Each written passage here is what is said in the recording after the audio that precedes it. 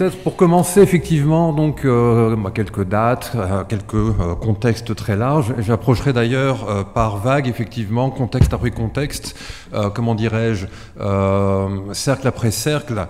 J'approcherai effectivement du cœur de, de, mon sujet. Toujours pour mon introduction, il faut donc avoir à l'esprit que les premières demandes officielles du corps enseignant pour un développement du programme de l'école publique dans le sens d'une meilleure présentation des religions date de 1982.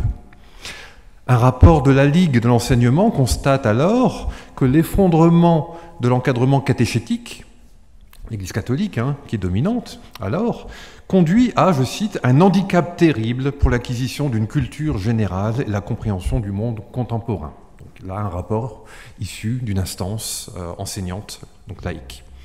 Dans un même temps, la décennie 1980 enregistre une montée des premières revendications religieuses de type identitaire en France. À l'époque, on dit plutôt, ce sera d'ailleurs plutôt un vocabulaire de la fin des années 80, communautariste, mais finalement, c'est le début ici aussi euh, de ce qu'on appelle les phénomènes identitaires, qui a été bien étudié notamment par Frédéric Gugelot et Bruno Dumont dans un livre un collectif publié en 2017 catholicisme et identité, je vous y renvoie.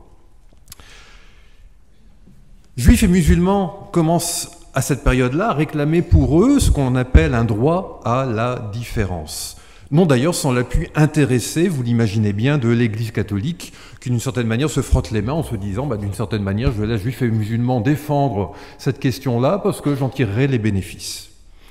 L'affaire du voile de Creil qui éclate en septembre 1989, met en évidence la vigueur de ces revendications et leur puissance corrosive aussi sur le régime de laïcité en place.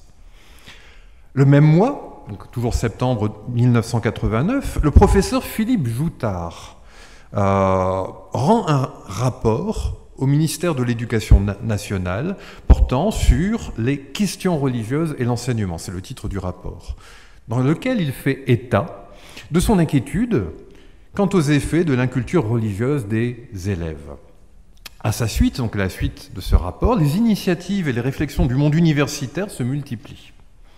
Un colloque tenu à Besançon en 1991 porte sur, je cite, Enseigner l'histoire des religions dans une démarche laïque représentation, perspective, organisation des apprentissages. En fait, à cette époque-là, et pendant longtemps, et on retrouve ça encore chez Debré en partie, il y a l'idée que c'est effectivement l'histoire à euh, travailler ces questions-là plus qu'une autre discipline. On imagine alors que c'est donc aux professeurs d'histoire à porter cet enseignement, de la même manière qu'on leur confie habituellement la charge de l'enseignement civique. Vous verrez tout à l'heure avec le rapport Debré, il y a une petite écho à cela. Apparaît, ou réapparaît, devrait-on dire, alors l'expression fait religieux sous la plume notamment de l'historien du christianisme Jean Delumeau, lequel publie en 1993 un ouvrage collectif sobrement intitulé, vous l'avez deviné, Le fait religieux. Ouvrage de 781 pages, cette épée pavée aborde le judaïsme, le christianisme et l'islam sous différents angles, tout en accordant une place conséquente à des études portant sur les religions orientales et africaines. Le retour des phénomènes religieux sur le devant de la scène publique et médiatique, dans les médias on en parle beaucoup et on s'en inquiète d'ailleurs, conduit alors à la recherche de nouveaux outils pour dire la complexité religieuse du monde. Plusieurs colloques témoignent de cette recherche menée dans les milieux laïcs, mais aussi catholiques, en France. C'est ainsi qu'en octobre 1998 se tient à la faculté de théologie de Toulouse un colloque intitulé Le fait religieux aujourd'hui en introduction duquel Hugues de Ric, vice-recteur de l'Institut catholique de Toulouse, signale, je le cite, Le fait religieux est de nouveau un fait public, et nous manquons de modèles pour le penser. Non pas le fait religieux, il est catholique, théologien, évidemment, pour lui, euh, ça ne pose pas problème, mais dit-il, mais le fait que le fait religieux soit un fait public. C'est ça la nouveauté. Ou à nouveau un fait public. Que des phénomènes religieux occupent le devant de la scène publique conduit une partie du monde universitaire à engager une réflexion sur la meilleure manière de les aborder, tout en tenant compte de la pluralité religieuse, laquelle invite à trouver un, langage commun pour les caractériser, donc caractériser ici les religions ou les phénomènes religieux. L'expression fait religieux ne fait toutefois pas florès encore à ce moment-là. On est dans les années 90. Même si on la retrouve dans le rapport de Joutard de, 2001 sur l'évolution du collège, dans lequel son auteur, devenu d'ailleurs entre deux recteurs d'académie, invite au détour d'une phrase à promouvoir une approche pluridisciplinaire de ce qu'il nomme l'influence, donc je cite, l'influence des faits religieux dans les sociétés humaines. Les sociétés humaines. L'expression fait religieux toujours au singulier à cette période-là, ne s'impose vraiment dans le vocabulaire scientifique et pédagogique qu'à la suite du rapport sur l'enseignement du fait religieux dans l'école laïque de Régis Debray, de février 2002, dont le professeur Coutel vous a parlé tout à l'heure, et dont je vais parler ici beaucoup plus. Car c'est essentiellement à partir de ce rapport que je construirai ma communication, ma présentation, ma conférence, en présentant les propositions de Debré, mais aussi les débats que ces dernières, ces propositions, ont suscité autour de la pertinence de l'expression enseignement des faits religieux, voire même tout court de faits religieux, qui en fait est une expression problématique et qui va apparaître comme telle assez vite. Premier point, donc le rapport Debré, je vais vous montrer ici trois contextes qui vont vous permettre de saisir dans quelle ambiance finalement euh, ce rapport Debré a été produit. Le professeur Coutel vous a dit tout à l'heure que cette ambiance, ce contexte de 2002 a appelé effectivement à la production d'une idée, d'un concept, d'une approche qu'on appelle ici fait religieux, et qu'au-delà de 2002, évidemment, cette approche est devenue peut-être un peu moins pertinente. Je vais donc ici me concentrer sur ces contextes. Le rapport sur l'enseignement du fait religieux dans l'école laïque de 2002 est le fruit d'une sollicitation du ministre de l'Éducation nationale, Jack Lang, auprès d'un intellectuel, alors en vue, Régis Debray, un homme qui s'est physiquement engagé aux côtés du Che Guevara dans les années 1960, avant de soutenir beaucoup plus tard François Mitterrand lors de la présidentielle de 81, Jean-Pierre Chevènement en 2002, donc au moment des élections euh, présidentielles. Debré est aussi également l'auteur, en 2001, d'un livre important, Dieu, un itinéraire, matériel pour l'histoire de l'éternel en Occident. Un livre portant sur l'influence de l'idée judéo-chrétienne. Je mets là effectivement les fameuses pincettes euh, de prudence derrière cette expression euh, un petit peu floue, mais c'est comme ça que euh, Debré l'utilise. L'influence de l'idée judéo-chrétienne de Dieu sur la culture occidentale, qui prend acte de la synchronie de l'abandon des humanités, d'une part, et du catéchisme, d'autre part, dans notre société en proie au désenchantement. Debré, homme de gauche, rationaliste, on trouve même dans une recension euh, cette, euh, comment dirais-je, euh, cette description pas très flatteuse, évidemment l'homme est catholique, qui présente Debré comme étant plutôt classé parmi les mécréants que comme écrivain chrétien, tout est dit, hein. Euh, porteur d'une inquiétude sur les effets du manque de culture religieuse des élèves. Debré apparaît pour ces raisons-là, pour ces trois raisons aux yeux de Jack Lang, comme la personne idéale pour rédiger un rapport sur l'enseignement du fait religieux à l'école. Il n'est pas de droite, donc pas suspect de vouloir revenir sur le régime de laïcité. À l'époque, c'est plutôt la droite qui veut revenir sur ce régime-là. Et effectivement, il semble être de bonne disposition par rapport à son sujet, donc c'est là le candidat parfait. Et il y a urgence effectivement d'intervenir, d'avoir une parole, notamment du euh, ministère de l'Éducation nationale sur la question, pour la simple et bonne raison que nous sommes aussi à quelques mois après euh, l'attentat des Twin Towers du 9 septembre 2001.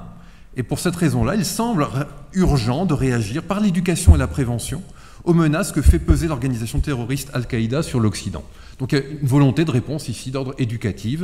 Euh, voilà le premier contexte. Enfin, plutôt contexte général. Je me rapproche ici, ou plutôt je donne d'autres éléments contextuels.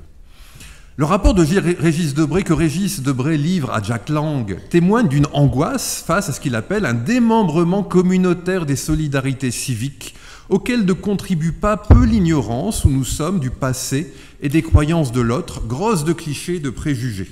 c'est un petit peu empoulé, mais on peut dire effectivement, qu'il y a cette inquiétude-là au niveau des solidarités civiques.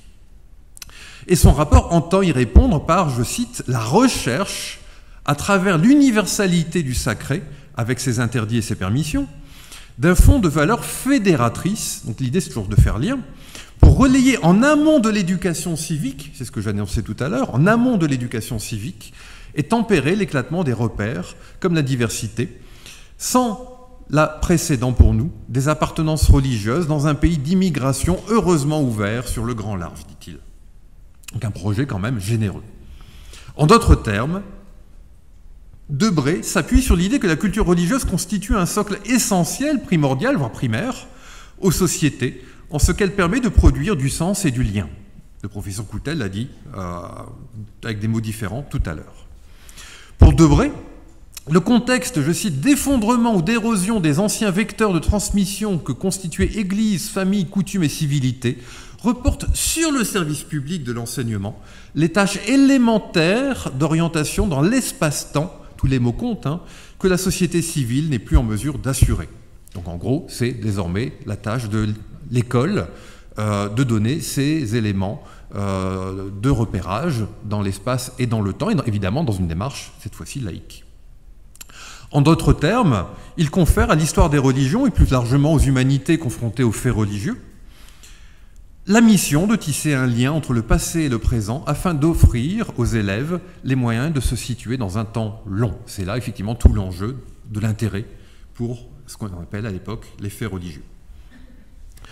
Alors que les images diffusées en direct de l'attentat des Twin Towers ont été vécues par beaucoup sur le mode de l'hypnose, j'étais surveillant à l'époque dans un lycée, euh, il y avait une télévision qui fonctionnait dans le foyer socio-éducatif, tout le monde était hypnotisé par cette image euh, qu'on nous montrait, euh, comment dirais-je, ad nauseum, ad nauseam, effectivement, de, des tours, de cette tour impactée, heurtée effectivement par l'avion. Il y avait effectivement là quelque chose de vécu sur le mode de l'hypnose, qui a duré d'ailleurs dans le temps. Et contre, effectivement, euh, cette hypnose, ce phénomène d'hypnose, Debré rappelle que cet événement, et bien d'autres d'ailleurs, je cite, ne prend son relief et sa signification qu'en profondeur de temps, et que la culture religieuse, je cite à nouveau, peut contribuer à relativiser chez, chez les élèves la fascination conformiste de l'image, le tournis publicitaire, le halètement informatif, en leur donnant des moyens supplémentaires de s'échapper du présent prison, on est en plein dedans, hein, pour faire retour, mais en, reconnaissance en connaissance de cause, au monde d'aujourd'hui. Donc se donner du champ et de la distance critique. Autre épaisseur ici, euh, je dirais euh, contextuelle, déterminante. J'avance toujours dans mes propos contextuels. La proposition de Debré d'instituer un enseignement du fait religieux, toujours au singulier, transversal aux disciplines, parce qu'il n'y a pas que l'histoire évidemment qui concernait, relevant donc des humanités, s'effectue alors dans un contexte particulier, marqué par une volonté politique grandissante de définir la laïcité en dehors du cadre des relations État-école pour l'appliquer à l'ensemble du domaine public, désormais c'est une question publique, dans lequel les religions instituées tendent d'ailleurs à vouloir reprendre pied. Donc il y a un contexte là aussi général. Le Parti socialiste, qui s'est présenté jusque-là comme un rempart contre toute modification au régime de laïcité, évolue vers des propositions de ce qu'on appelle de laïcité ouverte. Dans la lignée de ces propositions, Régis Debray propose dans son rapport ce qu'il appelle une laïcité d'intelligence, c'est-à-dire de connaissance, en lieu et place de ce qu'il appelle euh, la laïcité d'incompétence qui avait prévu jusque-là. Savoir que finalement, ce n'était pas euh, de la mission de l'école de s'en occuper, c'est ce qu'on pensait. Lui dit si, c'est une mission de l'école de s'occuper de ces questions-là. Mais de manière laïque, évidemment. Les différentes adjectivations qui fleurissent au début du nouveau millénaire partent tous d'un même constat. La place du religieux dans une société sécularisée a profondément changé en l'espace d'une ou de deux générations. Alors que l'on assistait dans les années 60-70 à un mouvement de spiritualisation du religieux, c'est-à-dire une évolution vers des formes plus intériorisées de religion, les années 80-2000 ont vu poindre en France et ailleurs des aspirations identitaires de plus en plus fortes, touchant tout ensemble le judaïsme, le christianisme et l'islam. On est encore dedans. Dans le sillage de la révolution islamique de 1979, parce que c'est le point de départ en fait de tout ça, les religions commencent à se confronter à des phénomènes de surenchère fondamentalistes en leur sein, qui se traduisent par des guerres et des attentats, mais aussi des tentatives de déstabilisation du régime français de laïcité. Autre contexte ici déterminant. Or, ces deux premiers contextes interviennent dans un autre contexte plus global, mais plus menaçant. de basculement de notre société individualiste, marquée par le triomphe du mythe de l'individu, d'un individu qui se ferait, ferait lui-même en rupture par rapport à la société. C'est un mythe, évidemment. Nous sommes tous en relation, les uns avec les autres. Donc ce basculement de cette société individualiste, du moi-je, dans une société de l'instantané qui continue à être le moi-je, mais le moi-je maintenant, qui donc, elle est marquée, cette société, par la tyrannie de l'émotionnel et une difficulté de plus en plus grande à nous inscrire dans une histoire. C'est tout le drame de l'ère Sarkozy et du fait divers, par exemple. Tout ceci se caractérise par des formes pathologiques de rapport à la mémoire, à l'histoire et à l'oubli, pour reprendre le titre d'un essai célèbre de Paul Ricoeur. L'amnésie rampante côtoie des formes plus insidieuses de crispation mémorielle, ce que l'on nomme la patrimonialisation, et qui se caractérise par une incapacité à gérer l'oubli de nos sociétés, si ce n'est que de manière effectivement crispatoire, crispée. Dans ce contexte de confusion dans lequel entre la société française, et qui est encore le nôtre aujourd'hui, les points de repère invariants manquent. Ce qui explique probablement le regain d'intérêt pour les religions, dont l'une des forces est de se présenter ou de se représenter dans la lumière d'une rassurante continuité. Nous, religions, avons toujours été euh, à l'identique quel que soit le temps. C'est ce que disent souvent les, religieux ou les religions, euh, peu critiques vis-à-vis d'elles-mêmes. Or, les religions ne relèvent en rien de phénomènes continus, comme le signalait l'historien Simon Mimouni dans La croisée des chemins revisités, très bon bouquin, très bonne introduction. Les stratégies de dissimulation des discontinuités sont très élaborées dans les religions. Les religions font comme si elles avaient été toujours identiques à elles-mêmes, en tout temps. Et il dit ceci, la théologie fonctionne sur la continuité et dissimule les discontinuités. C'est pourquoi l'histoire en tant que science et non en tant que littérature, en tant que discours scientifique et non en tant que discours rhétorique, devrait avoir pour fonction essentielle de mettre en évidence ces discontinuités, avançait-il. Voilà un beau chantier effectivement pour l'université, l'université française. À la croisée de ces, contextes que j'ai ici mentionnés, cités, présentés, il est apparu important et même urgent en 2002 de promouvoir une nouvelle prise de distance critique par rapport au discours religieux et d'offrir aux enseignements, aux enseignants pardon, et à leurs élèves les moyens de les déconstruire de la même manière que l'on peut déconstruire un discours politique ou économique. Ce moyen proposé par Régis Debré dans son rapport porte le nom d'approche par le fait religieux. Il conviendra maintenant, dans ma deuxième partie, de m'interroger sur son origine, sa portée critique et son opérativité scientifique, voire didactique. J'avance donc dans mes propos, deuxième partie. Le fait religieux, une approche dépassée, point d'interrogation? Le point d'interrogation pourra peut-être tomber en partie. Remarque préliminaire. L'expression fait religieux est fortement datée au moment où Régis Debray la popularise. Surprise. Pour tout dire, elle anime les débats entre historiens et théologiens depuis la première moitié du XIXe siècle. Ah Effectivement, c'est daté, peut-être. Sans toujours recouper d'ailleurs le camp des croyants et celui des incroyants, faut-il le noter. C'est ainsi qu'on la trouve dans un premier temps comme un élément de controverse entre protestants et catholiques. Si les catholiques justifient leur Église au nom de sa fidélité à la tradition, dans cette idée de permanence euh, intemporelle effectivement de l'Église, les protestants, quant à eux, insistent sur le fait que toute religion relève en partie de choix humains. Ainsi, M. Nivet, professeur protestant de théologie pratique à l'Académie de Lausanne, écrit en 1837, hein, vous voyez, pas, ça ne date pas d'hier, je cite, Un fait religieux, l'expression, n'est pas la religion. Consommé par l'intermédiaire des hommes, c'est un fait humain un fait, au moins d'une nature mixte, où se font sentir au moins la présence divine et l'influence de la nature humaine. Pour lui, il y a effectivement une sorte là de mi-chemin. On est dans une mentalité ici religieuse, évidemment. Augustin Bouvier, un autre protestant, dans son étude sur les conditions du développement social du christianisme, publiée à Genève en 1851, ne dit pas autre chose lorsqu'il affirme que, je cite, le fait religieux se produit au sein de l'histoire ou du fait historique. Il est dans l'histoire sans y être renfermé, sans partager sa destinée passagère, puisqu'il revit sans cesse, etc., etc.. L'expression existe.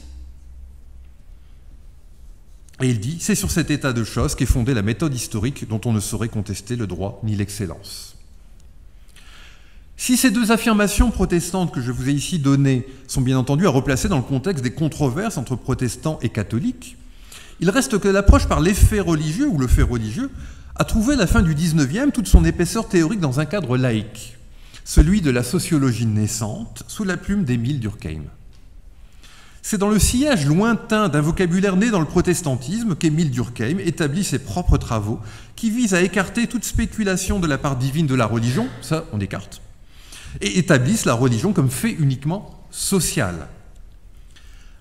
Afin d'étudier le religieux, c'est ça qui l'intéresse, Durkheim, en dehors de toute interférence avec les discours théologiques, Émile Durkheim fait de la religion un fait social, c'est-à-dire dans l'ordre des débats de la fin du XIXe siècle, un fait naturel, pas surnaturel, pas divin, naturel. Donc scientifiquement observable et donc scientifiquement connaissable. Un fait social parmi d'autres, le résultat pour lui de la vie sociale. C'était une nouveauté à l'époque. Pour Durkheim, je cite, La religion existe, c'est un système de faits donnés. En un mot, c'est une réalité. Cette affirmation de l'origine sociale et non pas surnaturelle, j'insiste là-dessus, du fait religieux, constitue le point de départ des études scientifiques et des phénomènes dits religieux, sur la base desquels Régis Debray plaide en 2002 pour un enseignement du fait religieux. Donc en fait, il s'appuie sur Durkheim, euh, en sautant d'ailleurs allègrement peut-être un siècle d'évolution. Vous allez le voir d'ailleurs, c'est un peu ce que je sous-entends dans ma communication. L'inscription de Debré dans le vocabulaire de Durkheim vise à donner quelques gages de neutralité scientifique à une approche de phénomènes, des phénomènes religieux menés dans un contexte encore marqué, il faut avoir ça à l'esprit, par de fortes tensions entre enseignement public et enseignement privé. L'usage de l'expression enseignement des faits religieux a pour but de rassurer quant à la nature du projet qu'il nourrit pour l'enseignement secondaire, voire supérieur. Suite à sa remise du rapport, les réactions négatives des instances éducatives sont d'ailleurs relativement minimes. Finalement, il y a un consensus, un peu mou d'ailleurs.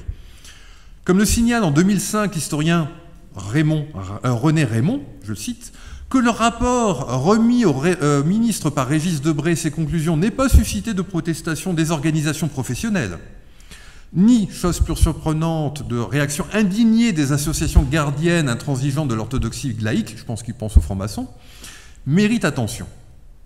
Pour René Raymond, le relatif consensus entourant les constats et les propositions de Debré est lié au fait que les enseignants se trouvent globalement à l'initiative de la demande, dans le sens où, je cite, Indépendamment de leurs convictions personnelles, ces enseignants ont témoigné à maintes reprises de ce que l'inculture religieuse des élèves les prive d'un accès à toute une partie, euh, toute une part du patrimoine culturel.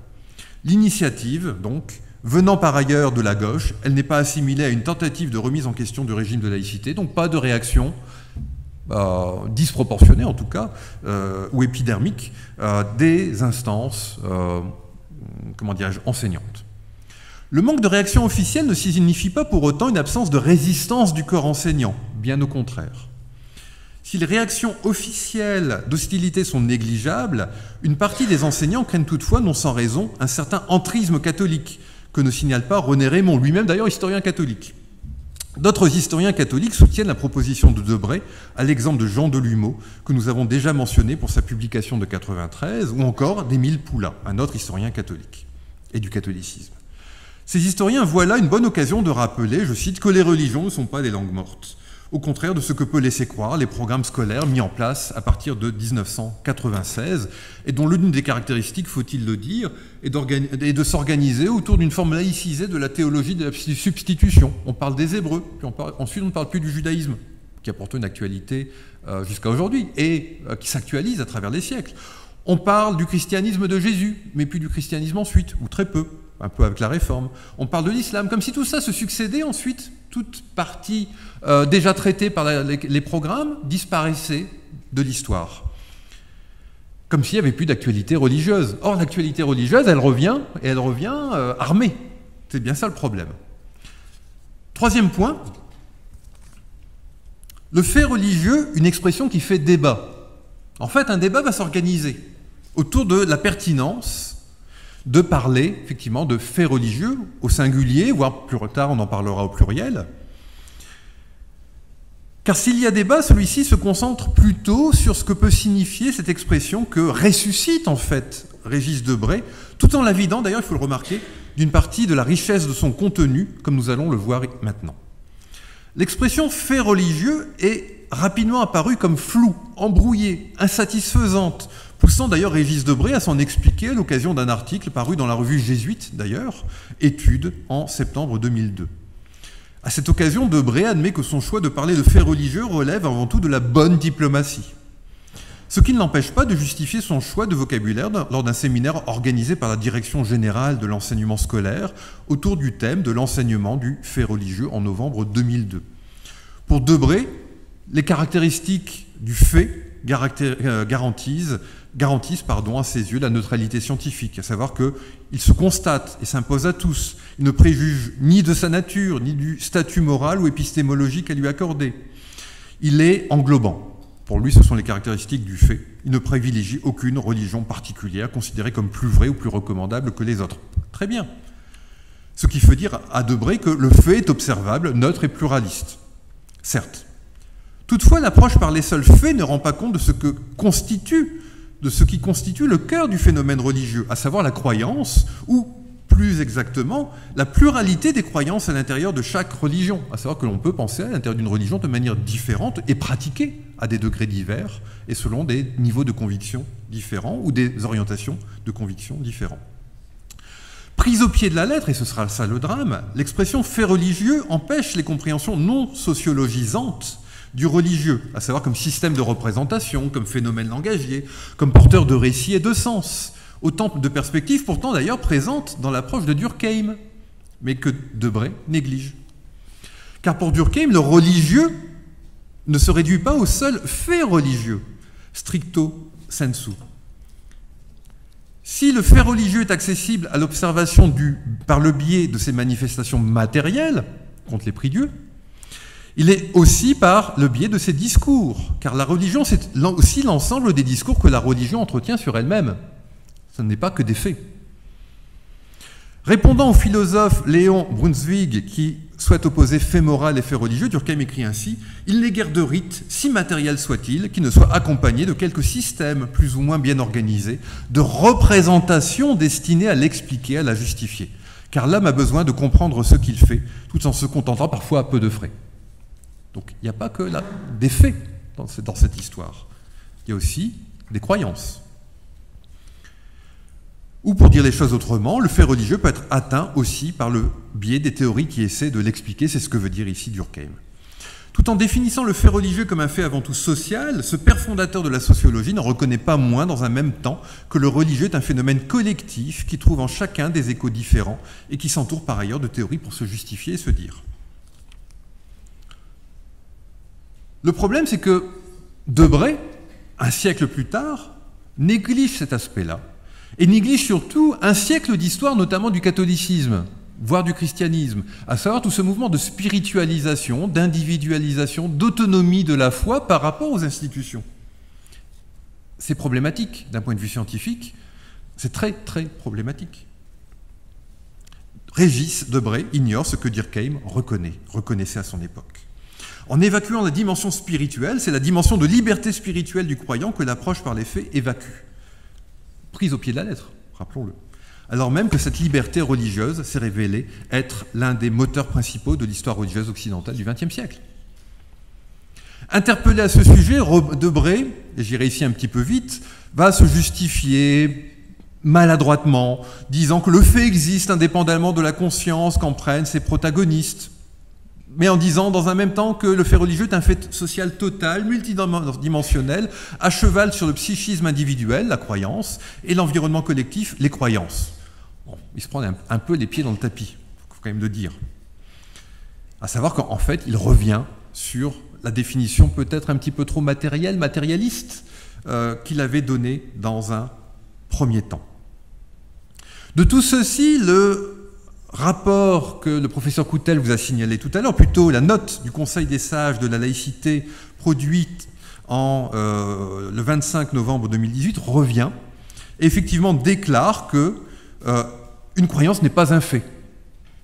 Et donc en fait d'une certaine manière synthétise ici euh, tout ce débat depuis 2002, tout en soulignant l'ambiguïté de l'expression fait religieux et en, mais en concédant aussi dans un même temps son caractère peut-être quand même opportun dans le domaine de l'enseignement secondaire, mais pas de la recherche. Le professeur Coutel vous en a parlé, je ne vous en dirai pas plus. La note insiste sur la priorité à donner à la formation des enseignants et justifie par ailleurs le principe d'un enseignement des faits religieux par un envoi un renvoi à l'article 12 de la Charte de la laïcité, lequel stipule la nécessité, je cite, de garantir aux élèves l'ouverture la plus objective possible à la diversité des visions du monde, y compris la diversité des visions du monde à l'intérieur d'une même religion. Ça peut être un peu problématique, par exemple, lorsque, dans le cadre d'un enseignement, on vous définit les cinq piliers de la foi de l'islam, en oubliant de dire peut-être que il y a des pratiques très variées dans l'islam où tout le monde s'arrange peut-être parfois un petit peu euh, avec ses piliers, parce que tout le monde ne peut pas les assumer. Le ramadan, par exemple, on, fait comme on peut le plus souvent. Et on cache le fait qu'on boit un petit verre d'eau quand on n'en peut plus, parce que c'est mal vu socialement, c'est mal vu par la communauté, il y a une pression. Mais que euh, l'école vienne redoubler le discours normatif des religions sans oublier de dire qu'il y a une variété dans les pratiques, ça peut être problématique. Donc il faut avoir ça à l'esprit aussi quand on est enseignant. Le rapport aussi, je n'en dirai pas plus, évidemment, souligne à son tour euh, ce constat d'un désastre de euh, l'inculture euh, des élèves et les effets, évidemment, dans leur rapport au patrimoine. Je n'en dirai pas ici plus. Le rapport Debray, le rapport Joutard, effectivement, ne faisait pas moins. Pour rester dans les temps, j'en arrive à ma conclusion. Dans la réédition de, 2015 du rapport Debré chez Odile Jacob, son auteur, donc Régis Debré, a signé une nouvelle préface dans laquelle il a tiré le triste constat que ses justifications de 2002 à la mise en place d'un enseignement des faits religieux ont été confirmées par plusieurs événements dramatiques qui ont frappé la France depuis son rapport. Et il dit ceci Les extrémistes, les hystéries de l'absolu, les, hystériques de l'absolu, résultent non d'un excès, mais d'un déficit de transmission, d'une panne de courant, d'une rupture de la chaîne éducative. Depuis la rédaction du rapport de Régis Debray, le moins que l'on puisse dire, c'est que les manifestations publiques du fanatisme religieux n'ont pas désarmé. Le constat de l'inculture religieuse a par ailleurs été élargi par les travaux d'Olivier Roy aux croyants eux-mêmes. C'est ce que, effectivement, euh, signalait tout à l'heure le professeur Coutel. L'inculture religieuse, un déficit de connaissances tant horizontales que verticales, sert de terreau à tous les fanatismes. Si l'enseignement des faits religieux apparaît à la lumière des événements récents comme un élément de réponse indispensable au fanatisme religieux de tous bords, il reste que l'approche par les faits religieux nécessite encore d'être interrogée. Et justement, peut-être doit-on s'écarter de cette notion de faits religieux pour mieux comprendre et aborder dans un cadre laïque ces phénomènes religieux et nécessite d'être interrogé aussi sur le plan de la transposition didactique. Comme le signale Claude Démissy dans son ouvrage de 2007, La religion à l'école publique, une problématique à partir de considérations européennes et pédagogiques, je cite, le principal problème posé par le rapport Debray, et en fait vous le sentez là aussi à travers ma communication, vient du caractère exclusivement académique de l'initiative. Je suis en train de parler de chercheurs sur un plan de la recherche, j'ai très peu parlé effectivement ici de transposition didactique. Et je continue la citation. En concevant la formation aux faits religieux uniquement à partir des savoirs savants, on ignore tout simplement la réflexion sur ce qu'il est utile d'enseigner à l'école. Or, les savoirs scolaires ne sont pas un décalque appauvri des savoirs savants. Ils ne les déclinent qu'après un travail de transposition qui est désormais étudié pour toutes les matières, sauf pour la religion. C'est problématique. Le rapport de Debré de 2002 portant sur l'enseignement des faits religieux dans le secondaire a finalement résulté en un débat qui a donné lieu qu'à une maigre réflexion dans l'ordre de la mise au point du contenu des enseignements et des outils pédagogiques. C'est là un constat. Très peu de publications, très peu d'études, très peu de propositions concrètes. D'une certaine manière, l'expression fait religieux est venue servir de paravent plus que de stimulant à un enseignement qui demande encore être précisé et qui est nécessaire, vous l'avez bien vu, rendu nécessaire par les urgences, les événements, les drames, les traumatismes. Le passage de la connaissance universitaire vers le contenu des enseignements secondaires, voire primaires, demeure un champ peu fréquenté qui reste à défricher. Mais nous ne rentrons pas dans le détail des exigences de cette transposition didactique. Nous laissons à notre collègue Catherine Bréon le soin de nous éclairer sur ce sujet et je lui laisse sans transition la parole. Je vous remercie.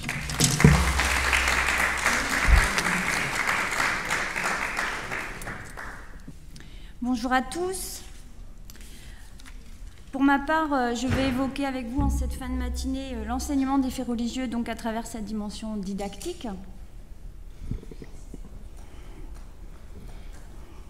Ceci à travers les conclusions, mais aussi les questions euh, que j'ai pu me poser à travers la rédaction d'un master en enseignement des faits religieux que j'ai soutenu l'année dernière en septembre.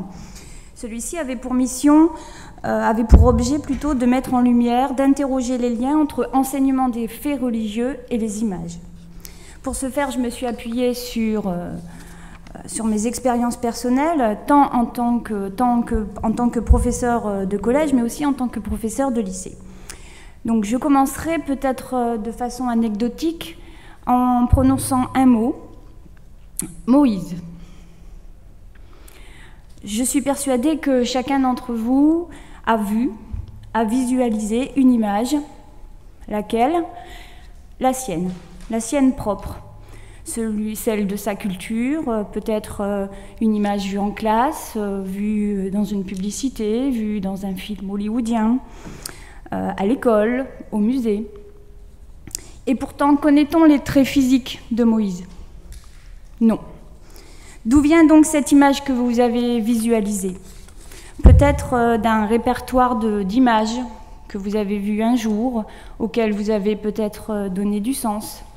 Or, cette image, la vôtre, est-elle la même que celle de votre voisin À votre avis? Peut-être. Peut-être qu'on nous a euh, transmis tout un patrimoine, tout un repère commun d'images. Donc voilà la première question que je vais me poser. Est-ce que enseigner les faits religieux, est-ce qu'il s'agit d'enseigner des images? Reprenons ces images. Choisissons par exemple une image objet, euh, selon l'expression de, Jérôme Bachet, celle du Moïse. Voilà. Celle euh, de, Michel-Ange, la statue euh, qui aurait dû faire partie du tombeau de Jules II. Ce Moïse avec les cornes, Question, est-ce qu'une élève de sixième, un élève de sixième serait capable de donner du sens à ce détail? Pourquoi un professeur pourrait-il choisir euh, euh, cette image pour enseigner les faits religieux? Quel pourrait être son objectif? L'image est-elle alors un simple vecteur, un simple tremplin vers les connaissances? D'où la deuxième question euh, qu'on pourrait se poser, est-ce que enseigner les faits religieux, c'est enseigner par les images? Enfin, troisième question, troisième alternative, enseigne-t-on l'image pour accéder aux faits religieux? L'image considérée ici en, tant que signifié particulier. Donc, croiser enseignement des faits religieux et image, c'est assez compliqué. Pour récapituler, est-ce que enseigner les faits religieux, je reprends, pardon, enseigne-t-on des images pour enseigner les faits religieux ou alors enseigne-t-on les faits religieux par l'image Ou encore enseigne-t-on l'image pour enseigner les faits religieux? On le voit ici, les sphères de l'image et des faits religieux s'interpénètrent. Alors je voudrais pour commencer revenir sur la signification des trois éléments qui nous intéressent ici, à savoir les faits religieux, l'enseignement et les images.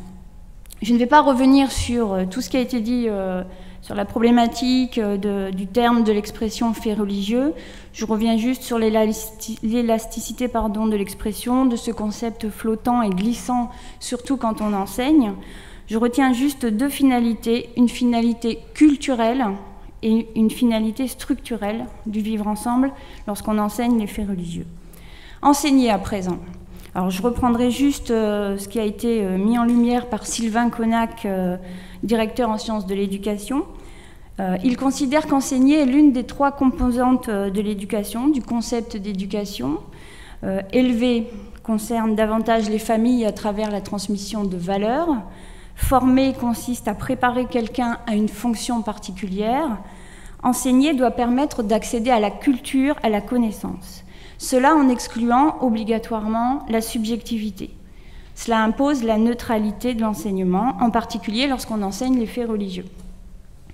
On peut rappeler ici la loi Goblet de 1886 ou l'article 6 de, 6 pardon, de la charte de la laïcité. Donc on, on verra que faire le choix finalement de croiser enseignement des faits religieux et images peut parfois amener l'enseignant sur une ligne de crête. Qu'est-ce qu'une image? Alors, je tiens tout d'abord à préciser que dans la plupart, enfin dans, dans toutes les instructions officielles que j'ai pu euh, travailler, que j'ai pu étudier, le mot image n'apparaît pas. On peut trouver le mot représentation, mais le mot image n'apparaît pas dans les instructions officielles. Définir une image. Qu'est-ce que c'est qu'une image? Définir une image simplement ne va pas de soi, alors même que les images font partie de notre quotidien. Le mot image vient du latin imago. Il désigne le masque de cire euh, qui ressemblait au, au, trait physique du défunt qui était posé sur l'autel des ancêtres à l'époque romaine. C'était un objet de culte associé à la mort. Donc l'image représente, elle représente par une matérialité une autre essence qu'elle-même. Elle est un substitut de la réalité. Elle mêle les espaces-temps. Elle est un support médium entre plusieurs acteurs. En un mot, l'image est ambiguë. C'est pourquoi on peut s'interroger sur cette pertinence, sur la pertinence de croiser enseignement des faits religieux et images. Donc pour structurer mon propos, je suis repartie des trois questions que j'ai posées euh, au préalable. Enseigner des images, enseigner par les images ou enseigner l'image. Donc croiser enseignement des faits religieux et images, est-ce enseigner des images pour enseigner les faits religieux? Il s'agirait en quelque sorte ici d'établir un répertoire commun d'images en réponse finalement à la finalité culturelle, mais aussi à la finalité structurelle en se fondant sur l'inculture et l'ignorance qui a été évoquée euh, précédemment. On apprendrait des images comme on apprend des mots. Il s'agirait d'images types qu'on ne peut pas ignorer en quelque sorte, afin de constituer un savoir iconique euh, de base pour faciliter le vivre ensemble. En janvier 2017, lors d'un podcast euh, dans, le, contexte de la campagne électorale, Emmanuel Macron et Marcel Gaucher, lors d'un échange, euh, évoquait la nécessité pour l'école de construire une culture commune. Emmanuel Macron disait que l'école se devait de proposer, je cite, proposer un imaginaire commun. Qu'en est-il dans le cadre de l'enseignement des faits religieux? Quels pourraient être les risques? Le premier, selon moi, serait de créer une tension dans le processus d'appartenance-exclusion au sein de la société il y aurait, je pense, confusion entre religion et culture.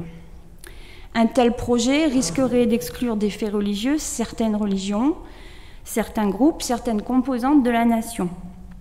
Sous couvert finalement de transmettre un certain patrimoine pour favoriser une cohésion, on risquerait en quelque sorte d'ajouter de nouvelles fractures.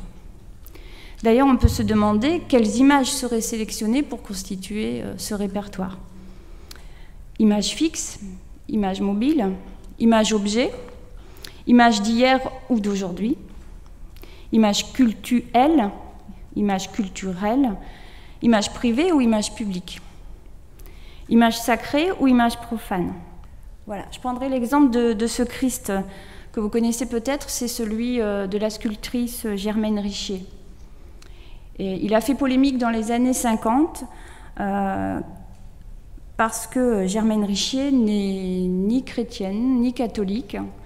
Et la question serait, est-ce qu'on peut utiliser en classe cette figure, cette image du Christ?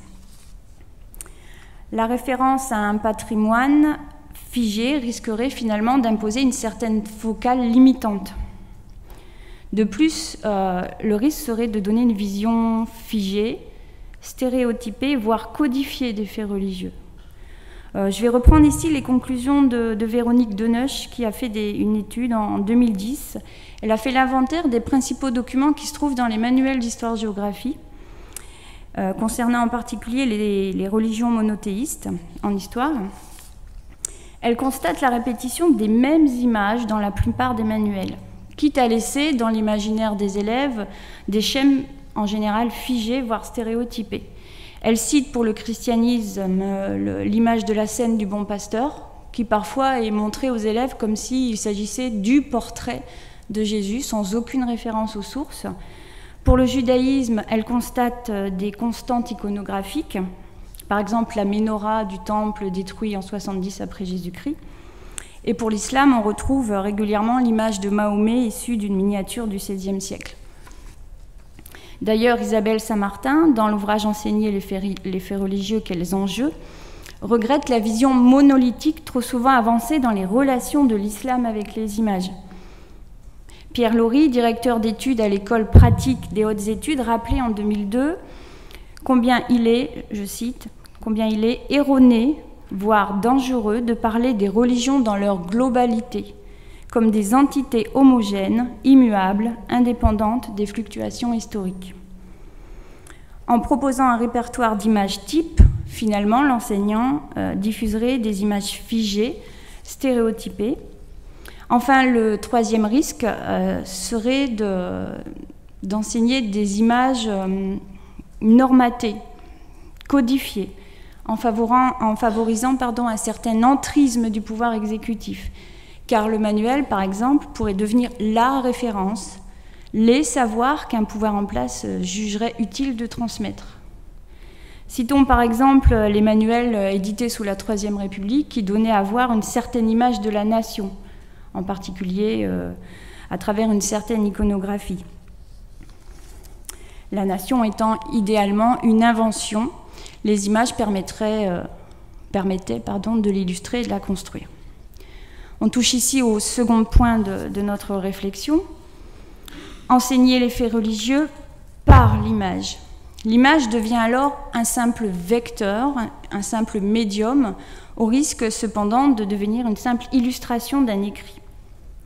En effet, euh, l'adoxa fait de l'image un vecteur didactique privilégié puisque visible, l'image serait lisible, elle serait facilement accessible à tous. Il n'est pas rare dans les manuels d'histoire-géographie euh, de 5e de voir euh, les tympans euh, des églises romanes ou gothiques décrits comme si ces, sculptures, ces images étaient là pour pallier l'illettrisme du petit peuple qui en général, dit-on, ne savait ni lire ni écrire. Or là, ici, il y a confusion. Cette confusion est liée à la lettre du pape Grégoire le Grand, à Sérénus, évêque de Marseille, en 600. Il y tient des propos assez ambigus à propos des images. D'un côté, il condamne l'iconoclasme, et de l'autre, il laisse suggérer que les images ne seraient qu'un substitut à l'écrit, destiné aux illettrés. Or, il évoque ici les laïcs non les laïcs ignorant du latin par opposition aux clercs et non pas les illettrés. Or, la formulation a été vulgarisée et souvent simplifiée. Trois arguments en général sont mis en avant pour euh, favoriser euh, l'usage de l'image. L'argument mnémotique, l'argument didactique et l'argument émotionnel.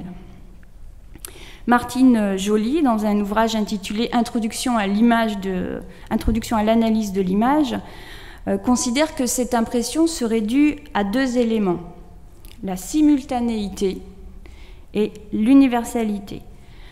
Euh, l'impression de simultanéité, euh, je vois, je reconnais, j'interprète. L'universalité de l'image, euh, en tant qu'elle serait parlante, quel que soit le contexte historique et culturel. Or, selon Martine Joly, il y a ici confusion entre perception et interprétation. L'élève voit, par exemple, les cornes euh, de Moïse, mais il ne reconnaît pas.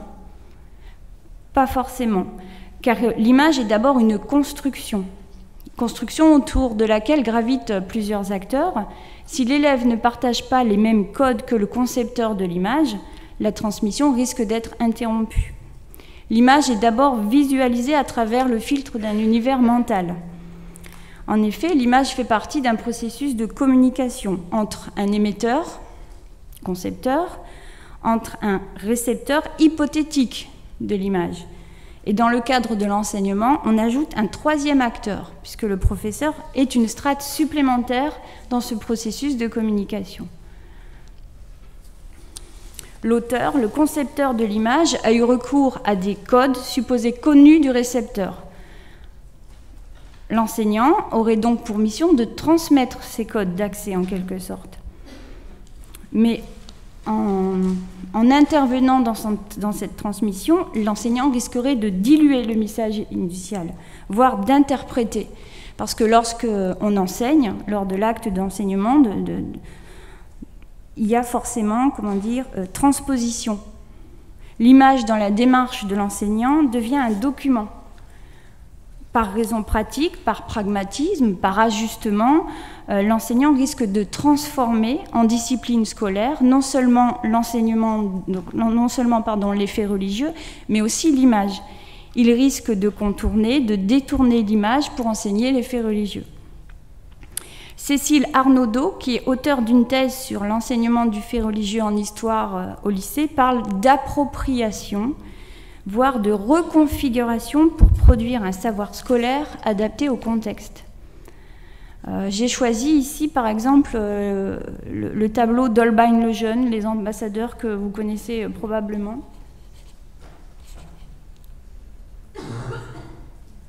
Voilà. Ce, tableau est quasiment dans la plupart des manuels de 5e. Euh, euh, il, est souvent utilisé pour étudier le renouveau scientifique et culturel des 15e et 16e siècles. En général, la consigne qui est associée euh, évoque les instruments de mesure, l'identité des personnages, l'anamorphose du crâne, mais la plupart des manuels cadrent le tableau de sorte qu'on ne voit pas le crucifix qui est juste à gauche, derrière la tenture verte à peine visible. Or, la signification, le sens, se trouve dans ce crucifix. Ce qui fait qu'on passe à côté du sens du tableau. Et là, évidemment, dans ce cas, ce sont les éditeurs qui sont responsables de ce cadrage. Mais l'enseignant qui décide d'utiliser ce, ce, tableau en en faisant un document avec un objectif précis passe à côté du sens de l'image. On l'a vu, les consignes, le questionnement produit par l'enseignant orientent la perception de l'image. L'élève voit ce qu'on lui demande de voir. L'image devenue un document est devenue un simple moyen, un objet. Tout est question de problématique et de regard. Alors justement, dans un dernier temps, et si l'image était enseignée pour elle-même, pour enseigner les faits religieux, en tant que signifié particulier, devenant par elle-même un objet d'étude. Il s'agirait là de décrypter l'image, voire de ressentir l'image, en mêlant iconographie et iconologie. Les élèves dans le cadre scolaire sont-ils capables d'étudier l'image pour elle-même Là est la question. En, particulier quand il s'agit d'une image à caractère religieux. Et autre question, l'enseignant a-t-il pour mission d'étudier l'image pour elle-même? En a-t-il le droit? Donc, enseigner l'image pour elle-même, cela signifie-t-il pour autant enseigner l'histoire des arts? Est-ce que c'est seulement enseigner l'histoire des arts? Aujourd'hui, euh, depuis les programmes de 2008, euh, les manuels regorgent d'images d'art, de méthodologies pour lire l'art, pour s'initier à l'art. Les images à caractère religieux sont présentées à travers des activités appelées parcours art ou histoire des arts. On peut citer par exemple ce manuel d'histoire de 5e qui propose à l'étude un extrait de la mosaïque de Palerme de Martorana. Sur cette mosaïque, euh, on demande juste aux élèves non pas de réfléchir au sens, de réfléchir aux couleurs, on leur demande tout simplement, à travers cet intitulé, Je m'exprime en utilisant le langage des arts, l'influence de l'art byzantin en Occident. En fait, on demande aux élèves de reconnaître Jésus, de reconnaître le roi Roger II, mais on ne va pas au-delà. En fait, l'image apparaît ici comme une sorte de prétexte à l'initiation, au premier contact avec la mosaïque. Euh, une question cependant euh, est posée. On demande aux élèves qu'avez-vous ressenti en regard, au regard pardon, euh, de cette œuvre? Donc, un petit, petit, un petit lien à l'émotion, au ressenti. Euh, mais toutefois, l'image ici apparaît comme un support à une, initiation artistique sans que l'on demande vraiment aux élèves de, comprendre le sens de l'image. L'image apparaît ici, dans le cadre de l'histoire des arts, comme un simple prétexte. Elle ne fait qu'effleurer l'étude de l'image pour elle-même. S'agirait-il alors de transmettre aux élèves les codes qui vont leur permettre d'accéder au sens profond de l'image, de renouer le contact justement avec le concepteur de l'image. Euh, selon euh, Martine Joly, l'enseignant doit apprendre aux élèves à reconnaître des ressemblances en excluant les différences. Selon elle, euh, c'est cet apprentissage qui est naturel. S'initier régulièrement à ces codes permettrait en quelque sorte d'appréhender l'image pour elle-même, de toucher à l'émotion, qu'il s'agisse de l'émotion esthétique ou de l'émotion religieuse. D'ailleurs, euh, selon Paul Ricoeur, une émotion religieuse, euh, on, ne peut appréhender la religion qu'à partir de sa réalité vécue et perçue. Comme la langue maternelle apporte des codes pour comprendre les langues étrangères, euh, prendre contact avec une émotion religieuse pourrait permettre d'accéder aux autres religions. Cependant, à vouloir donner des normes, ne risque-t-on pas de modéliser la lecture de l'image, de l'encager c'est la question qu'on peut se poser. Euh, je vous citerai par exemple euh, une expérience qui a été menée en 2002 à travers euh, le couronnement de la Vierge, exposé au musée de 2009 Les Avignons. un collègue d'histoire a, constaté que les élèves ne cherchaient plus à ressentir une émotion esthétique. Ils se contentent de reproduire ce qu'on leur a appris un peu de façon automatique en mettant de côté euh, l'émotion, il ne cherche pas à euh, comment dire, éprouver l'image, il cherche juste à comprendre, sans la, forcément la ressentir. Or, euh, l'image suscite forcément une émotion. Elle est particulière à travers son invisibilité en quelque sorte. Il peut s'agir, comme je vous le disais tout à l'heure, d'une émotion religieuse, d'une émotion esthétique. Donc, le visible de l'image cacherait-il un invisible? Rappelons que l'étymologie euh, latine euh, met en avant ce côté invisible. L'imago se rapporte au champ du visible de la statue funéraire, qui joue en quelque sorte le rôle d'enveloppe au spectre invisible du défunt. L'image représente, elle rend présente par une matérialité une autre essence qu'elle-même. Elle peut aussi représenter le vide, afin de signifier une transcendance.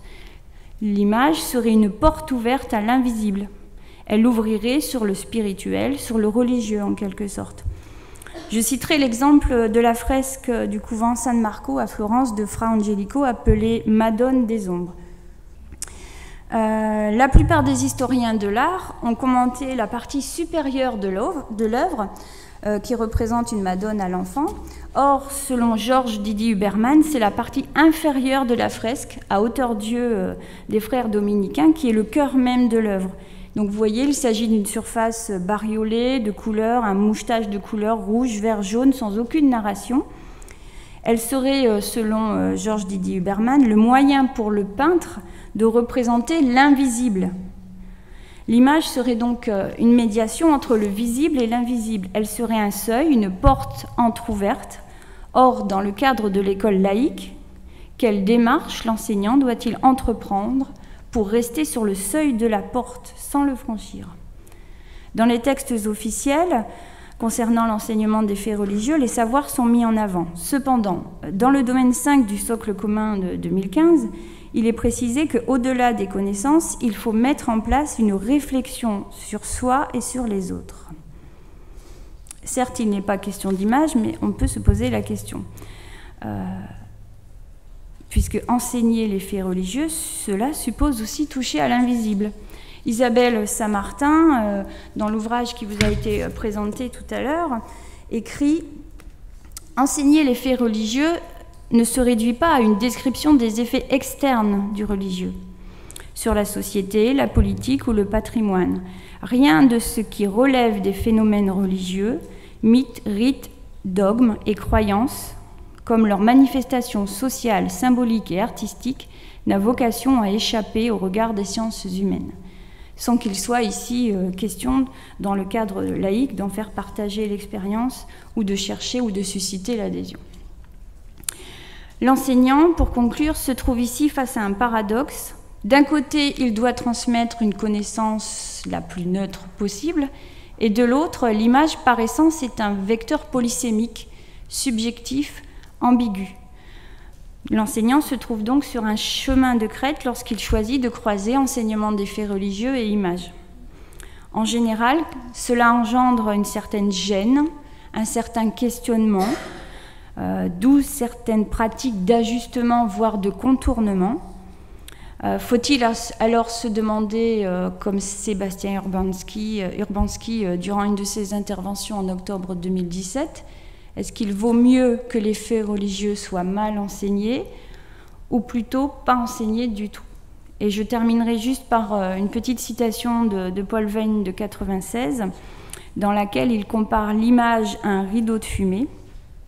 Je cite On oubliera qu'une image peut aussi servir à divertir, à jeter un rideau de fumée, à embellir, à masquer, à exprimer, plus souvent qu'à communiquer. Voilà, je vous remercie.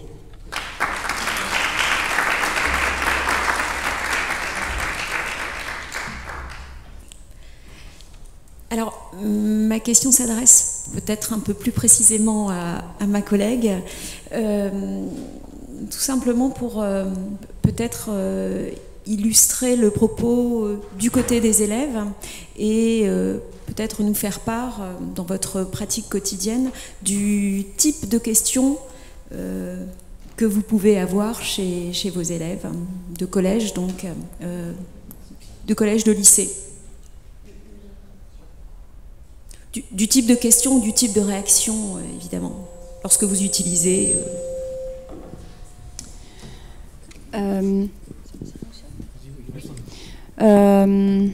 Tout dépend, je dirais, du, niveau.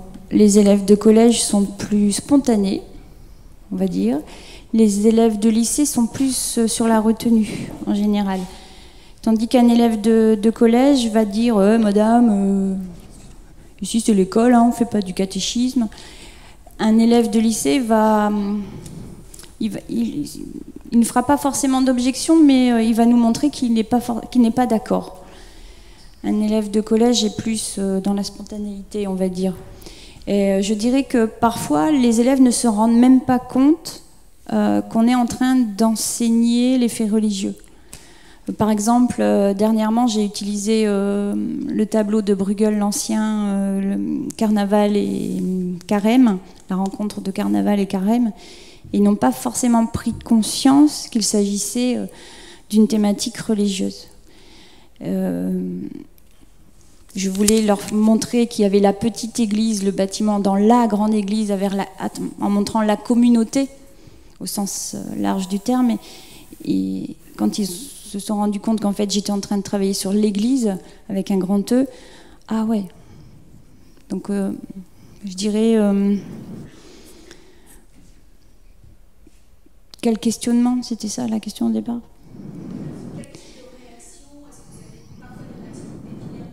Ah, j'ai eu des. En classe de 5e, il y a une dizaine d'années, où euh, j'avais osé mettre euh, justement une image de, Jésus. J'ai eu une réaction assez vive, oui.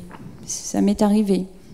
Mais euh, j'ai tout simplement expliqué qu'il s'agissait du Jésus historique. Que certes, c'était une parmi toutes les représentations qu'il existe, une représentation de Jésus, mais il s'agissait du, du Jésus historique. Et en tant que professeur d'histoire-géographie, j'ai le droit de parler du Jésus historique, sans prendre position évidemment.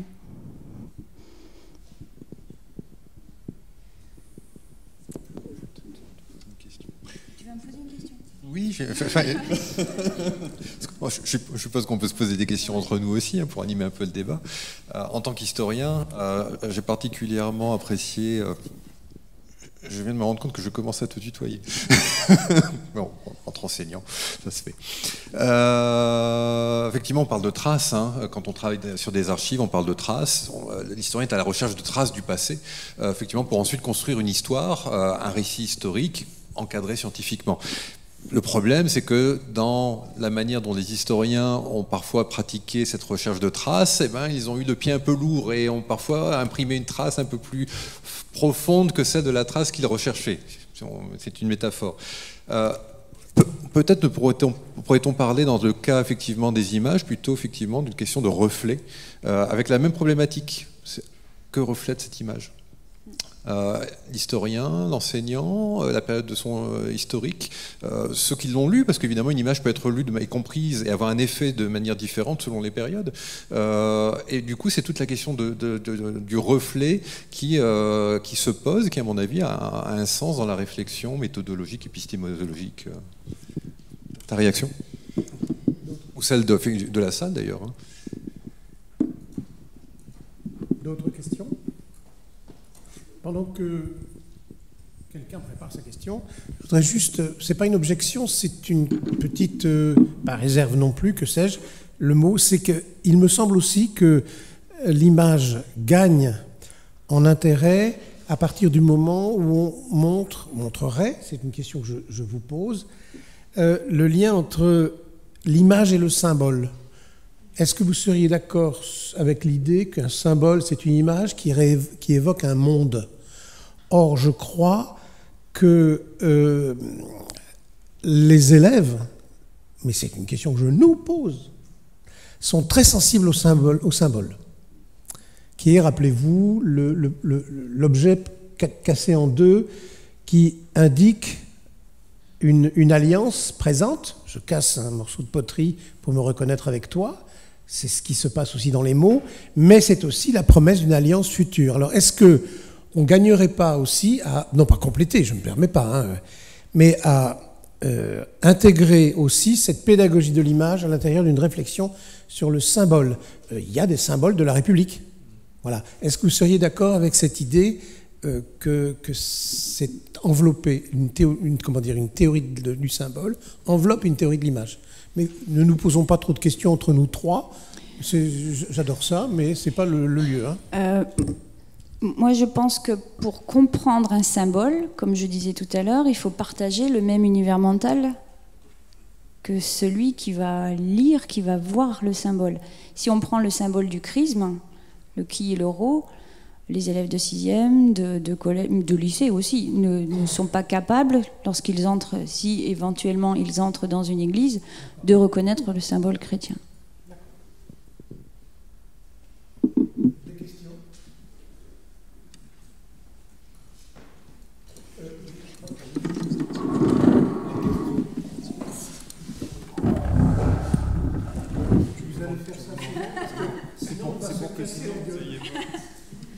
Alors, vous avez fait le choix de nous montrer des, images que vous étudiez en, cours au collège ou, au lycée.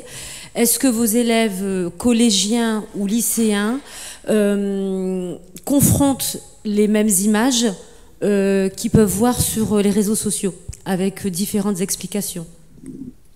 Là, j'ai choisi lors de mon intervention en une demi-heure de ne pas évoquer l'ensemble des, thématiques euh, que, j'ai travaillées, mais euh, j'y avais pensé. Hein. par exemple, là, dans mon mémoire, je parle de la publicité, je parle de toutes ces images qui font partie de notre quotidien et qui viennent, euh, entre guillemets, parasiter peut-être parfois le sens, la compréhension des images qu'on étudie en classe les publicités, les réseaux sociaux ou autres. Euh, il m'arrive parfois de le faire.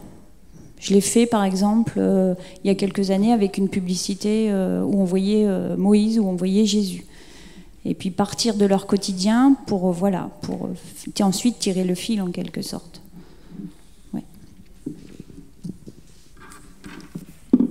Peut-être une question pour Olivier? Euh, quelle place donner euh, euh, également à, l'archéologie dans, l'étude des faits religieux? Je pense notamment aux travaux de Thomas Romer.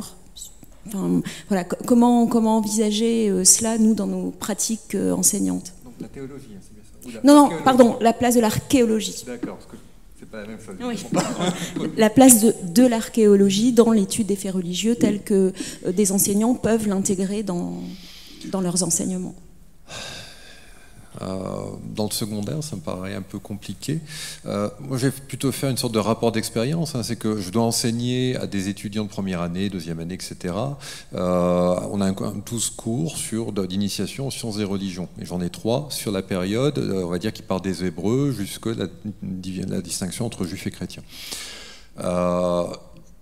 je suis devant des élèves qui ont une demande de connaissances sur ce que disent les traditions. Et ils sont peut certains d'ailleurs la minorité, mais suis toujours la bonne surprise d'avoir une ou deux personnes, un ou deux étudiants chaque année, qui a lu un petit peu les textes, qui connaît un peu la Bible, et qui est un peu de répondant, effectivement. Donc il connaît bien ça. Évidemment, moi en tant qu'historien, par contre, je ne peux pas donner que la tradition. Alors ce que je fais, c'est souvent montrer, expliquer ce que dit la tradition, pour avoir quelques points de repère, tout en expliquant que la, tradition n'est pas un discours historique. Savoir ce qui est consigné dans les ouvrages n'est pas un discours historique. Euh, et que, évidemment, il faut euh, le discours, enfin en tout cas la, la recherche des faits, qui en fait passe par l'archéologie, euh, a une importance critique. du coup, moi, je dirais que le, principe de mon cours, c'est avant tout de susciter l'esprit critique. Je sais bien qu'en 12 cours, je ne vais pas armer les étudiants de connaissances, euh, ils ne seront pas blindés au bout de 12 cours sur ces questions-là. Mais déjà, s'ils ont un petit peu de précaution euh, face à leur sujet, un document, etc. Et ça passe par l'archéologie, le recours à l'archéologie obligatoirement. Je suis obligé de dire, voilà, euh, la cité de David, de la même manière que ma collègue, vous avez une image sublime de la cité de David. a priori, c'est ce que l'archéologie ne nous montre pas ça. David, a priori, c'est un roi telé euh, de, troisième catégorie euh, qui a été sublimé par la Bible. Euh, l'intérêt étant effectivement de montrer d'un côté que ce que dit la Bible rapporte la Bible sur David a un intérêt en termes de récit, a certainement une, une, source historique dans le sens où il y a quelqu'un qui s'appelait David, qui avait bon, qui était quelqu'un ayant le pouvoir sur, un territoire, et que l'archéologie ne montre absolument pas la même euh, dimension de, pouvoir que celle de, la Bible et de la tradition. Mais ça, je le fais dans le supérieur. Euh, moi, un, je dirais un des éléments que j'ai eu à l'esprit en préparant mon exposé, c'était de me dire fait religieux. D'accord, l'expression, quelle utilité? Au niveau supérieur, enfin de la recherche du supérieur, zéro. Au contraire, on va lire aujourd'hui des, sociologues qui vont relire Durkheim à la lecture de l'idéologie qu'on a fait du fait religieux, quitte à forcer euh, euh, l'expression fait religieux à toutes les lignes de Durkheim, alors que c'est pour lui une conclusion. Euh, c'est une grille de lecture qu'il propose, c'est un appui, une justification, mais on en vient effectivement à du, imposer du post-Durkheim sur du Durkheim. ça pose problème en termes de recherche. En termes d'enseignement, par contre, un, qu'est-ce qu'on doit enseigner? Deux, qu'est-ce qu'on doit savoir comme enseignant du secondaire? Euh, Moi, je, suis un petit peu inspiré dans ma pratique et dans mes représentations de la réforme des écoles de médecine il y a quelques années, où on a imposé aux, généralistes de, suivre le même cursus supplémentaire qu'un spécialiste. Le généraliste étant lui-même spécialiste, finalement, de la généralité, d'une certaine manière. Euh, c'est à peu près la même, dans le même esprit, effectivement, que je vois les choses. L'enseignant doit pousser toutes les questions, en fait, dans toutes les directions, et pas que les questions, religieuses. Il doit savoir, effectivement, euh, là je pense à l'historien, euh, surtout étant historien, euh, il doit être un, peu spécialiste de tout, donc généraliste. ce qui veut dire qu'il doit avoir conscience aussi des problèmes que suscitent les questions qu'il va enseigner, les sous-strates, mais évidemment, c'est pas ce qu'il va enseigner. Donc, et ce qu'il va enseigner, ce sont des faits parce qu'effectivement, il faut une chronologie commune, il faut des points communs, il faut créer du commun euh, et la connaissance commune auprès des, élèves. Donc c'est opérationnel, d'une certaine manière, dans un cadre purement scolaire. Cette notion de fait religieux, c'est ce à quoi on se rattache, mais ça ne fonctionne pas au niveau de la recherche. Un élément euh, pour aller dans ce sens-là, sans, sans, faire de ping-pong, la question sur l'archéologie est extrêmement importante dans la mesure où ça peut développer en chacun, maître, élève, quel que soit le niveau, ce que j'appellerais l'attention à la trace, à la trace qui est un, élément de modestie, mais qui en même temps permettrait, alors je ne veux, pas choquer, de déconstruire, je vais choquer les historiens, mais qui sont des collègues, l'idéologie du patrimoine, qui est un terme que on pourrait appeler holistique. L'holisme, c'est le processus euh, paresseux, intellectuel, qui consiste à appliquer sur euh, une multitude de détails un jugement global. Je ne sais pas si l'holisme, ça vaut pour euh, un diagnostic médical, l'approche globale du malade. Je vous signale qu'il y a un peu de cela dans le pédagogisme dominant, qui consiste à parler comme ça de l'élève en général. Notamment quand on dit il est en difficulté. Qu'est-ce que tu fais dans la vie? Je suis élève en difficulté. Ah bon? Voilà l'holisme. L'archéologie est la science modeste, le coup de, le coup de pinceau, vous savez, qui dégage le, est à cet égard extrêmement utile et qui nous permettrait de sortir des jugements à l'emporte-pièce et des stéréotypes évoqués par ma collègue. Vous savez, sur. euh, voilà.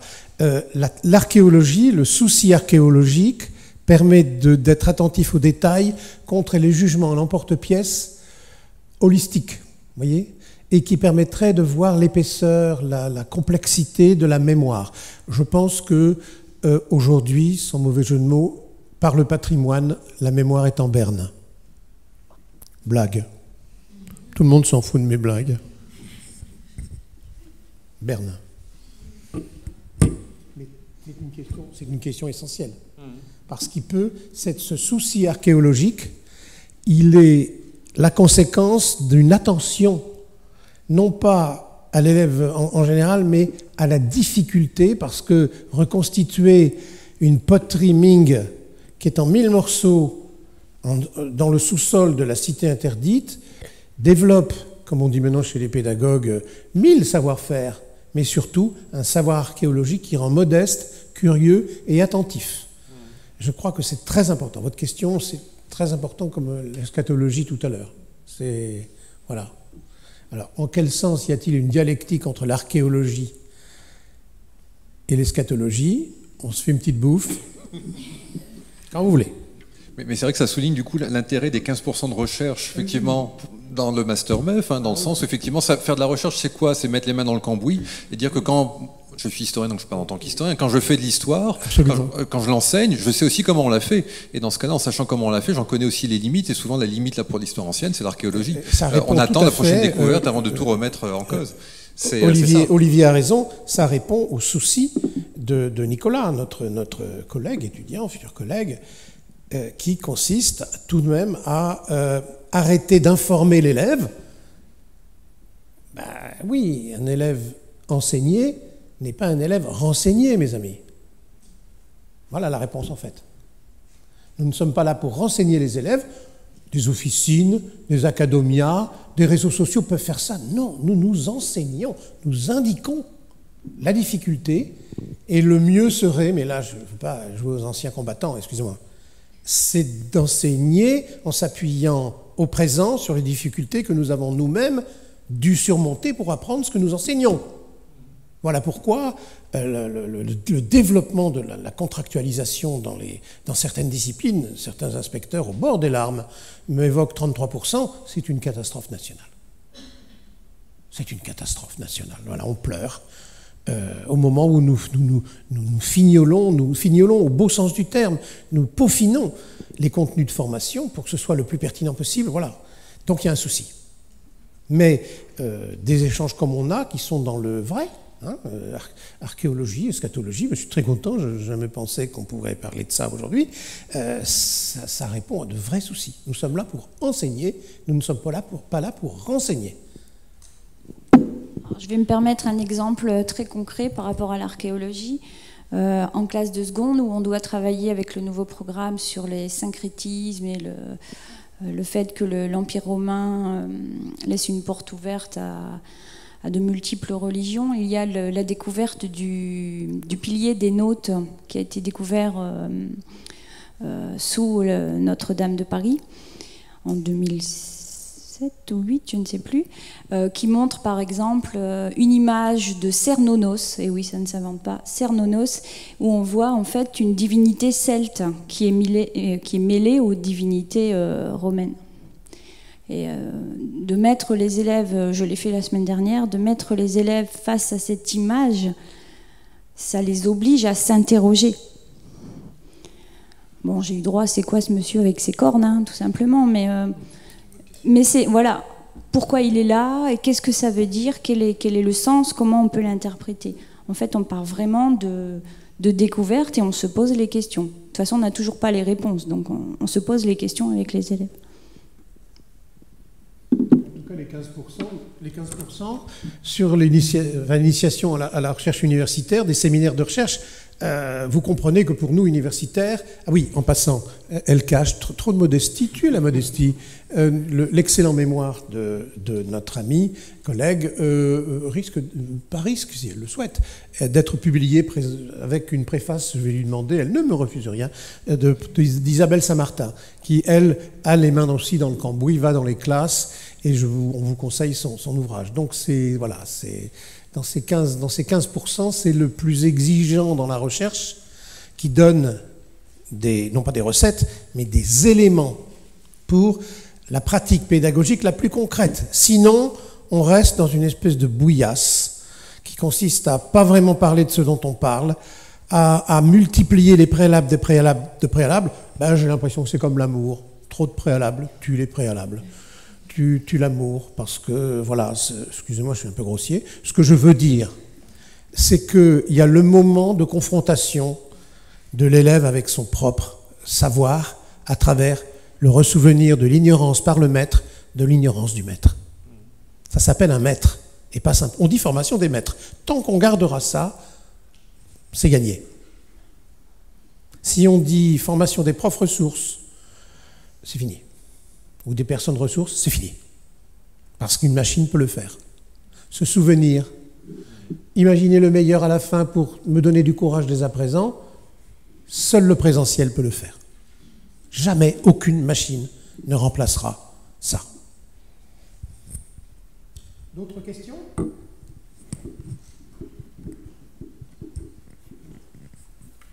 Euh, euh, On parle de, de l'enseignement. Euh, mais du côté des élèves, après les barrières euh, passées euh, sur ben non, c'est de la religion, on ne peut pas l'apprendre, est-ce qu'il y a une curiosité des élèves, une envie de savoir, de connaître toutes les religions?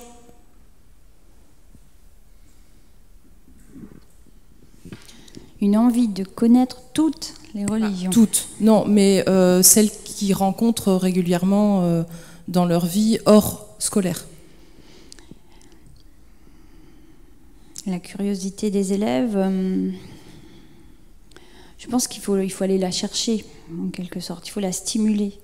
Euh, tout en préparant mon cours de seconde, là, j'avais mis les élèves en îlot, et donc ça a été l'occasion pour moi de, discuter avec eux de façon plus proche, en quelque sorte. Et euh, une élève de seconde, j'en parlais tout à l'heure, il, devait définir le terme Messie, je crois. Le terme Messie était défini dans le manuel. Et l'élève m'a dit mais, mais madame, euh, je comprends pas, c'est qui, c'est quoi, c'est le Messie, je comprends pas. Et donc, euh, je lui ai parlé de Jésus, de Christos, etc., de l'Ancien Testament, enfin, de la Bible. Et euh, quand je lui ai dit que Jésus était un personnage historique, j'ai eu des, des yeux vraiment. Ah bon? En classe de seconde, ça veut dire 15 ans. Mais outre ce questionnement, elle, m'a posé la question. Ça, ça, lui a posé problème de voir ça dans un manuel de seconde. on va étudier ça aujourd'hui. Et je pense que le, fait de les faire travailler comme ça en petit îlot, ça m'a permis d'entrer davantage en contact avec eux. On vous rassure, c'est aussi un joueur de football argentin. Avez-vous quelques autres questions avant qu'on vous propose quelques éléments de conclusion?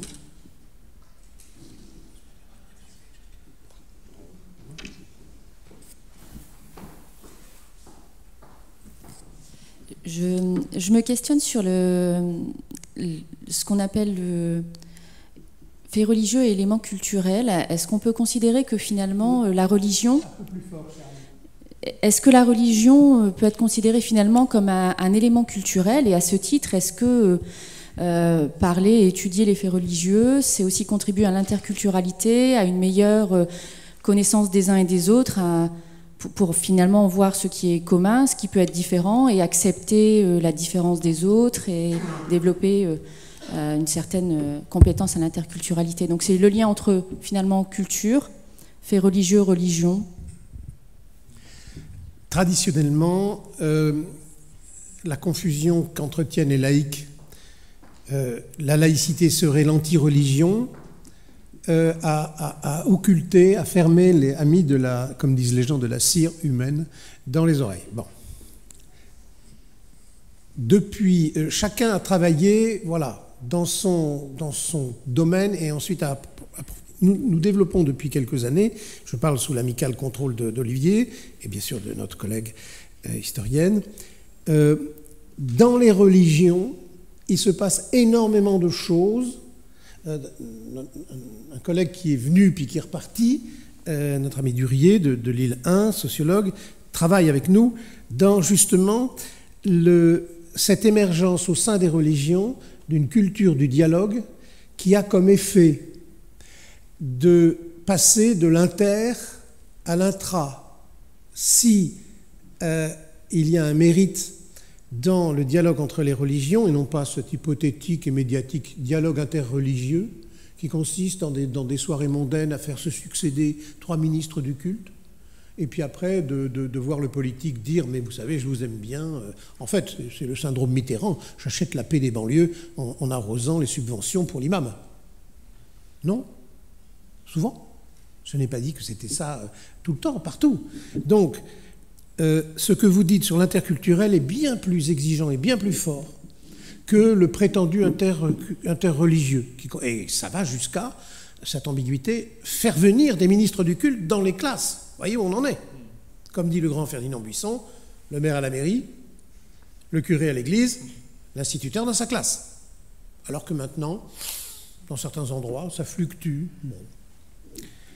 Ce que je veux dire, c'est que l'interculturalité, pour ne pas être une idéologie qui consiste à juxtaposer des banalités, s'appuie sur la connaissance de plus en plus exigeante de chacun vis-à-vis -vis de sa propre religion par effort d'écouter les autres. Vous voyez, ben c'est comme les disciplines.